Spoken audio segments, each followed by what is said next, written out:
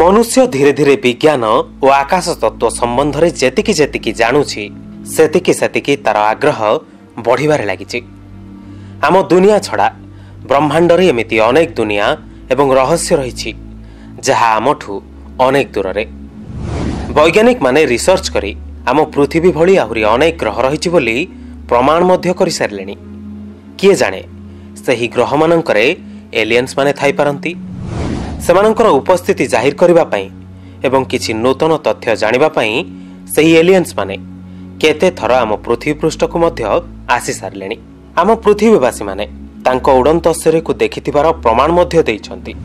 ପୃଥିବୀ ପୃଷ୍ଠରେ ଥିବା ଅନେକ ଦେଶ ଯେପରି ଆମେରିକା ଏବଂ ଇଂଲଣ୍ଡରେ ଏହି ଉଡ଼ନ୍ତ ଶରୀରକୁ ଦେଖିବାକୁ ମିଳୁଛି। ଖାଲି ସେତିକି ନୁହେଁ ଆମ ଭାରତ ବର୍ଷରେ ଥିବା ଅନେକ ଗୁଡ଼ିଏ ରାଜ୍ୟରେ ମଧ୍ୟ ୟୁଏଫ୍ଓ ବା ଉଡ଼ନ୍ତ ଶରୀ ଦେଖିବାକୁ ମିଳିଛି। ଲୋକମାନେ ଏଲିଏନ୍ସ ମାନଙ୍କ ସ୍ପେସ୍ ସିପ୍କୁ ଦେଖିଥିବାର ଦାବି କରିଛନ୍ତି। ତେବେ ଚାଲନ୍ତୁ ଆଜି ଜାଣିବା ଆମ ଭାରତ ବର୍ଷରେ କେଉଁ କେଉଁ ସ୍ଥାନରେ ଏଲିଏନ୍ସ ଏବଂ ତାଙ୍କର ସ୍ପେସ୍ ସିପ୍ ଦେଖିବାକୁ ମିଳିଛି। କେବଳ ଆପଣଙ୍କର ନିଜ ଚ୍ୟାନେଲ ଝରକା ରହସ୍ୟରେ।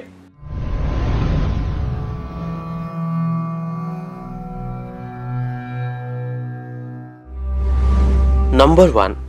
ସର୍ବପ୍ରଥମେ ଜାଣିବା ଛତିଶଗଡ଼ର କଙ୍କୋର ଜିଲ୍ଲାରେ ଥିବା ଚରମା କେଭ୍ସ ବିଷୟରେ। ସେଠାରେ କିଛି ପଥରରେ ଖୋଦିତ ଚିତ୍ର ଦେଖିବାକୁ ମିଳେ। ନିରୀକ୍ଷେଇ ଦେଖିଲେ ସେହି ଚିତ୍ରଗୁଡ଼ିକ ମଧ୍ୟରେ ଥିବା ବ୍ୟକ୍ତିମାନେ ଆଷ୍ଟ୍ରୋନଟ୍ ସୁଟ୍ ପିନ୍ଧିଥିବା ଏଲିଏନ୍ସ ଦେଖାଯିବେ। ଏହି କଥାକୁ ଦାବି କରିଛନ୍ତି ସେଠାରେ ରହୁଥିବା ଆର୍କୋଲୋଜିଷ୍ଟ ଜେ ଆର୍ ଭଗତ। ତେବେ ଏହା ଦଶ ହଜାର ବର୍ଷ ତଳର ଘଟଣା ବୋଲି ସେ କୁହନ୍ତି ଏବଂ ସେଠାରେ ଏଲିଏନ୍ସ ମାନଙ୍କର ୟୁଏଫ୍ଓର ଚିତ୍ର ମଧ୍ୟ ଦେଖିବାକୁ ମିଳିଛି। ଯେମିତି ଆମେ ହଲିଉଡ୍ ମୁଭିରେ ଦେଖିବାକୁ ପାଉ ଠିକ୍ ସେମିତି। ତେବେ ଜେ ଆର୍ ଭଗତ ଚାହାନ୍ତି କି ଏହି କେଭ୍କୁ ଇସ୍ରୋ ଏବଂ ନାସା ରିସର୍ଚ୍ଚ କରୁ। କିନ୍ତୁ ଏବେ ପର୍ଯ୍ୟନ୍ତ ଏହାକୁ ନେଇ କୌଣସି ପଦକ୍ଷେପ ନିଆଯାଇନି। ଚରାମାରେ ରହୁଥିବା ଗ୍ରାମବାସୀମାନେ ଦାବି କରନ୍ତି ଏହି ପେଣ୍ଟିଂରେ ଦେଖାଯାଉଥିବା ଛବିଗୁଡ଼ିକ ରହିଲା ବୋଲି। ଯେଉଁମାନଙ୍କୁ ଏହି ଗ୍ରାମବାସୀମାନଙ୍କର ପୂର୍ବଜମାନେ ପୂଜା କରୁଥିଲେ ଏହି ରୋହିଲାମାନେ ପୃଥିବୀ ପୃଷ୍ଠରେ ରହୁଥିବା ମଣିଷଙ୍କଠାରୁ ଆକାରରେ ସାନ ଥିଲେ ଏବଂ ଧରାପୃଷ୍ଠକୁ ଆସୁଥିଲେ। ସାଙ୍ଗରେ କିଛି ଲୋକଙ୍କୁ ମଧ୍ୟ ନେଇଯାଉଥିଲେ। ଯେଉଁମାନେ ଆଉ କେବେ ଫେରୁନଥିଲେ।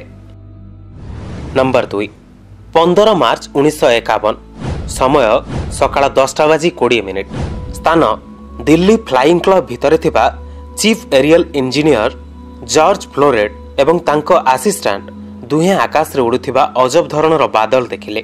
ତାଙ୍କ କହିବା ଅନୁସାରେ ସେହି ବାଦଲଟି ପ୍ରାୟ ସାତ ଫୁଟର ଥିଲା ଏବଂ ଭୂମିଠାରୁ ଚାରି ହଜାର ଫୁଟ ଉଚ୍ଚତାରେ ଥିଲା। ଧୀରେ ଧୀରେ ଏହି ବାଦଲଟି ବଢ଼ିବାକୁ ଲାଗିଲା ଏବଂ ତାରି ଭିତରୁ ହଠାତ୍ ବୁଲେଟ୍ ସେପ୍ର ଗୋଟାଏ ଅବଜେକ୍ଟ ବାହାରିଲା ଏବଂ ଆକାଶରେ ଅଜବ ଢଙ୍ଗରେ ଘୁରିବାକୁ ଲାଗିଲା। ସେତେବେଳେ ପର୍ଯ୍ୟନ୍ତ ପ୍ରାୟ ପଚିଶ ଜଣ ଲୋକ ଏହି ଦୃଶ୍ୟକୁ ଦେଖୁଥିଲେ।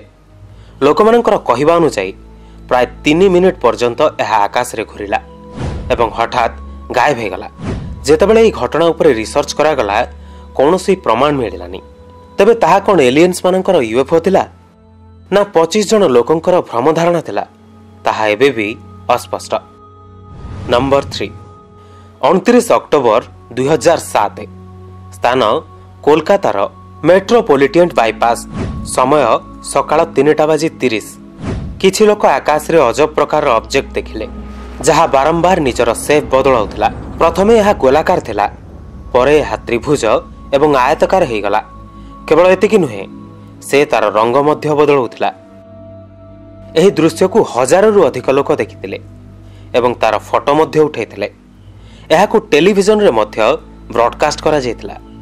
କିନ୍ତୁ ଯେତେବେଳେ ସେହି ଫଟୋ ଏବଂ ପ୍ରମାଣଗୁଡ଼ିକୁ ରିସର୍ଚ୍ଚ କରାଗଲା ବିର୍ଲା ପ୍ଲାନେଟୋରିୟମର ଡାଇରେକ୍ଟର ଡକ୍ଟର ଦେବୀ ପ୍ରସାଦ ଦତ୍ତା ତାହାକୁ ଭିନେସ୍ ପ୍ଲାନେଟ୍ ବୋଲି କହି ଏଲିଏନ୍ସର କଥାକୁ ଖାରଜ କରିଦେଲେ। ତେବେ ସେହି ଅବଜେକ୍ଟଟି ସତରେ ୟୁଏଫଓ ଥିଲା ନା ଭେନସ୍ ଥିଲା ତାହା କେବଳ ଭଗବାନ ହିଁ ଜାଣନ୍ତି। ନମ୍ବର ଫୋର୍ ଦୁଇହଜାର ତେରରେ ରିଷିକେଶରେ ଥିବା ଜଣେ ବ୍ୟକ୍ତି ୟୁଏଫଓ ଦେଖିଥିବାର ଦାବି କରିଥିଲେ।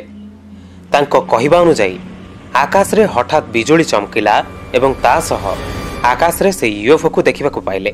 ସେହି ବ୍ୟକ୍ତି ଜଣକ ପ୍ରମାଣ ସ୍ୱରୂପ ତାର ଫଟୋ ଏବଂ ଭିଡ଼ିଓ ଉଠାଇଥିଲେ। କିନ୍ତୁ ସେହି ଫଟୋ ଏବଂ ଭିଡ଼ିଓକୁ ଖାରଜ କରାଯାଇଥିଲା। ନମ୍ବର ଫାଇଭ ଯେବେଠୁ ମୋବାଇଲରେ କ୍ୟାମେରା ଲାଗିଲାଣି ସେବେଠୁ ଲୋକମାନଙ୍କର ଫଟୋ ଉଠାଇବା ନିଶାରେ ପରିଣତ ହୋଇଗଲାଣି। ତେଇଶ ଜୁଲାଇ ଦୁଇହଜାର ଚଉଦ ଲକ୍ଷ୍ନୌର ରାଜାଜୀପୁରମରେ ରହୁଥିବା ଅମିତ ତ୍ରିପାଠୀଙ୍କ କହିବା ଅନୁଯାୟୀ ସେ ସୂର୍ଯ୍ୟାସ୍ତର ଫଟୋ ଉଠାଉଥିଲେ। ସେହି ସମୟରେ ଆକାଶରେ ଏକ ପ୍ରକାର ଅବଜେକ୍ଟ ଯାଉଥିବାର ଦେଖିଲେ। ଚାରି ସେକେଣ୍ଡ ପର୍ଯ୍ୟନ୍ତ ଏହି ଅବଜେକ୍ଟଟିକୁ ସେ ଦେଖିବାକୁ ପାଇଥିଲେ ଓ ପ୍ରମାଣ ସ୍ୱରୂପ ତାର ଫଟୋ ମଧ୍ୟ ରଖିଥିଲେ। ସେହି ଅବଜେକ୍ଟଟି କିଛି ସମୟ ରହି ଗାୟବ ହୋଇଯାଇଥିଲା। ତାର ଗୋଟାଏ ବର୍ଷ ପୂର୍ବରୁ ଆର୍ମିର ମେଜର ସିଭେଷ୍ଟନ ଜାକାରିୟମ ସେ ମଧ୍ୟ ଏହିଭଳି ଫଟୋ କ୍ୟାପଚର କରିଥିଲେ। କେରଳର କୁନ୍ନୁର ବିଚ୍ରେ ସେ ବୁଲୁଥିବା ବେଳେ ତାଙ୍କ ନୂଆ ଫୋନ୍ରେ ଫଟୋ କ୍ୟାପଚର କରୁଥିଲେ। ସେହି ଫଟୋଟିରେ କାର୍ ପାଖରେ ଏକ ୟୁଏଫଓ ଉଡ଼ୁଥିବାର ଦେଖାଯାଉଛି। ତେବେ ବର୍ତ୍ତମାନ ମହାରାଷ୍ଟ୍ରରେ ଚାରି ଅକ୍ଟୋବର ଦୁଇହଜାର ଚଉଦରେ ଜେଟ୍ ଏୟାରୱେଜ୍ ଫ୍ଲାଇଟ୍ ଚବିଶଶହ ଏକାନବେର ପାଇଲଟ ମହିମା ଚୌଧୁରୀ ଅହମ୍ମଦାବାଦରୁ ପୁନେ ଯାଉଥିବା ସମୟରେ ମୁମ୍ବାଇ ଏୟାର ଟ୍ରାଫିକ୍ କଣ୍ଟ୍ରୋଲକୁ କହିଲେ ସେ ଆକାଶରେ ଛବିଶ ହଜାର ତିନିଶହ ଫୁଟ ହାଇଟ୍ରେ ତିନିଶହ ଦଶ ଡିଗ୍ରୀ ଆଙ୍ଗେଲରେ ଗୋଟାଏ ବ୍ଲୁ ଏବଂ ବ୍ଲାକ୍ ରଙ୍ଗର ୟୁଏଫଓ ଦେଖିଥିଲେ ଏବଂ କିଛି ସମୟ ମଧ୍ୟରେ ସେହି ଘଟଣାକୁ ନ୍ୟୁଜ୍ ଚ୍ୟାନେଲ ମାନଙ୍କରେ ମଧ୍ୟ ପ୍ରସାର କରାଗଲା। ପ୍ରମାଣ ସ୍ୱରୂପ ମହିମାଙ୍କ ସହିତ ସାକ୍ଷାତ କରିବାକୁ ଚେଷ୍ଟା କରାଯାଇଥିଲା କିନ୍ତୁ ନ୍ୟୁଜ୍ ଚ୍ୟାନେଲ ମାନଙ୍କୁ କିଛି ବି ତଥ୍ୟ ମିଳିନଥିଲା। ନମ୍ବର ସିକ୍ସ ଚାରି ଅଗଷ୍ଟ ଦୁଇହଜାର ତେର ଲଦାଖର ଡେମଚୋକର ଲଗାଣଖୋଲ ଇଲାକାରେ ଥିବା ଇଣ୍ଡିଆନ୍ ଆର୍ମିର ସୋଲଜରମାନେ ଚାଇନିଜ ବର୍ଡର ଆଡୁ ଆକାଶରୁ ଏକ ୟୁଏଫଓ ଦେଖିଥିଲେ। କେବଳ ଥରେ ନୁହେଁ ଲଦାଖ ଏବଂ ଅରୁଣାଚଳ ପ୍ରଦେଶରେ ଶହେରୁ ଉର୍ଦ୍ଧ୍ୱ ଏହିଭଳି ଘଟଣା ଦେଖିବାକୁ ମିଳିଛି। କିଛି ଲୋକଙ୍କର ମାନ୍ୟତା ରହିଛି ବୋଧହୁଏ ଏହା ଚାଇନାର କିଛି ଷଡ଼ଯନ୍ତ୍ର। କିନ୍ତୁ ରିସର୍ଚ୍ଚରୁ ଜଣାପଡ଼ିଛି ଯେ ଏହା ୟୁଏଫଓ ହିଁ ଥିଲା। ନମ୍ବର ସେଭେନ୍ ଷୋହଳ ଜାନୁଆରୀ ଦୁଇହଜାର ଏକୋଇଶ କେରଳର କୋଟାୟମ ଡିଷ୍ଟ୍ରିକ୍ଟର ପୋମପଲ୍ଲୀରୁ ୟୁଏଫଓ ଦେଖିବାର ରିପୋର୍ଟ ଆସିଛି। ସେଠାକାର ଲୋକମାନେ ଆକାଶରେ ଦୁଇଟି ଏଲ୍ଇଡି ଲାଇଟ୍ ଭଳି କିଛି ଦେଖିବାକୁ ପାଇଥିଲେ ଯାହାକି ଆକାଶରେ ଉଡ଼ି ବୁଲୁଥିଲା ଯାହାର କୌଣସି ପ୍ରାମାଣିକ ତଥ୍ୟ ଏବେ ପର୍ଯ୍ୟନ୍ତ ମିଳିପାରିନି। ନମ୍ବର ଏଇଟ୍ ଏଲିଏନ୍ସମାନଙ୍କ ଘଟଣାକୁ ନେଇ ସବୁଠାରୁ ଆଶ୍ଚର୍ଯ୍ୟଜନକ କଥା ହେଉଛି ଆମ ଭାରତର ପ୍ରଧାନମନ୍ତ୍ରୀ ନରେନ୍ଦ୍ର ମୋଦିଙ୍କ ସୁରକ୍ଷାକର୍ମୀ ଏଲିଏନ୍ସମାନଙ୍କୁ ଦେଖିଥିବାର କୁହନ୍ତି ସାତ ଜୁନ ଦୁଇହଜାର ଅଠର ସନ୍ଧ୍ୟା ସାଢ଼େ ସାତଟା ସ୍ଥାନ ଦିଲ୍ଲୀ। ନରେନ୍ଦ୍ର ମୋଦିଙ୍କ ସୁରକ୍ଷାକର୍ମୀ ଜଣେ ଯବାନ ମୋଦିଙ୍କ ରେସିଡେନ୍ସ ଉପରେ ୟୁଏଫଓକୁ ଦେଖିଥିବାର ଦାବି କରନ୍ତି। କେବଳ ସେ ନୁହନ୍ତି ତାଙ୍କ ସହକର୍ମୀଙ୍କ ସହ ଆଖପାଖରେ ଅନେକ ଲୋକମାନେ ମଧ୍ୟ ଏହାକୁ ଦେଖିଥିବାର କୁହନ୍ତି। ସଙ୍ଗେ ସଙ୍ଗେ ଦିଲ୍ଲୀ ପୋଲିସ ଏହାକୁ ଅନୁସନ୍ଧାନ କଲେ କିନ୍ତୁ କୌଣସି ବି ତଥ୍ୟ ମିଳିଲାନି।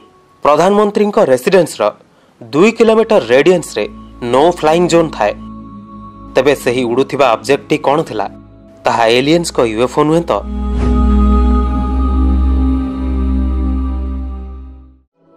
ଆଜିର ଏପିସୋଡରେ ବାସ୍ ଏତିକି। କେମିତି ଲାଗିଲା କମେଣ୍ଟ ନିଶ୍ଚୟ କରିବେ।